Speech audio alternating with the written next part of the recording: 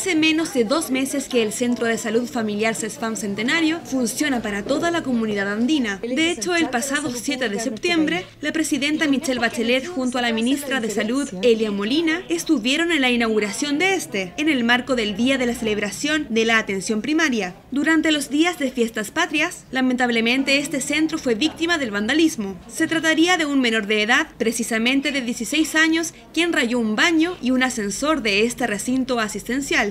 Queremos hacerle un llamado de atención a la comunidad eh, y pedirles que por favor nos ayuden a cuidar las instalaciones que no son para los funcionarios, son para ustedes. El miércoles 17, alrededor de las 12 y media del día, eh, nos dimos cuenta de que habían rayado con marcador, habían hecho unos grafitis dentro de uno de los ascensores.